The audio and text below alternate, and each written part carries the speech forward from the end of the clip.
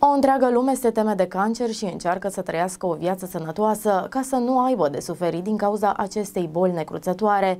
Însă un studiu a descoperit faptul că multe alimente consumate des de către români și care sunt vândute pe rafturile magazinelor conțin o substanță care ar putea să ducă în acest punct. Toată lumea cumpără aceste alimente fără să citească atent eticheta cu lista substanțelor pe care le conțin. Autoritatea Europeană pentru Siguranța Alimentelor a realizat un studiu în urma căruia a descoperit că unele alimente de bază conțin o substanță cancerigenă numită nitrozamină. Această substanță cancerigenă poate să fie descoperită în alimentele precum carnea, laptele sau alte produse lactate, mezeluri, pește procesat sau chiar cacao. Din acest motiv, eticheta acestor alimente de pe rafturile magazinelor trebuie analizată cu atenție, astfel încât oamenii să se asigure asigure că nu consumă această substanță. Nitrozamina ar putea să fie găsită în mai multe alimente pe care oamenii le consumă des. Așadar, alimentele a căror etichetă trebuie să fie citită cu atenție sunt mai ales produsele din carne, laptele și produsele lactate, dar și berea sau alte băuturi alcoolice. De asemenea, același studiu a transmis și faptul că dacă oamenii ar consuma o gamă mai largă de alimente, ar putea să reducă semnificativ riscul de a ajunge să consume această substanță, iar aportul ar fi mult mai redus,